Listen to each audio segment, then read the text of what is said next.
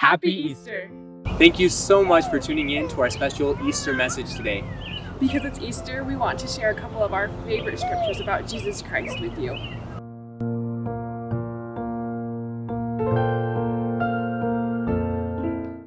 Near the end of Jesus Christ's life, he was nailed on a cross, and those nails went through his hands and his feet.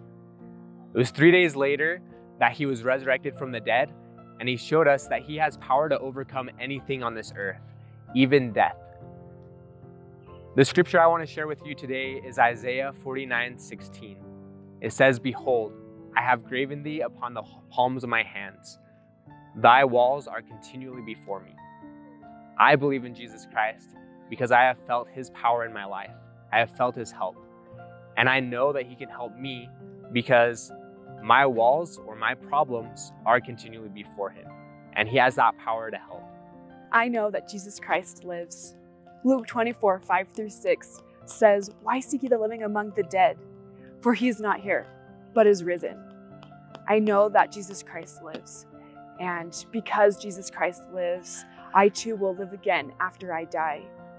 Because of Jesus Christ, I have hope and courage in, in a future, even when there are unknowns and uncertainties. I get support and comfort from my Savior because of the sacrifice that He did for me. He is my personal Savior and Redeemer, and He loves, He loves us so much. I know that I can be with my family because Jesus Christ lives.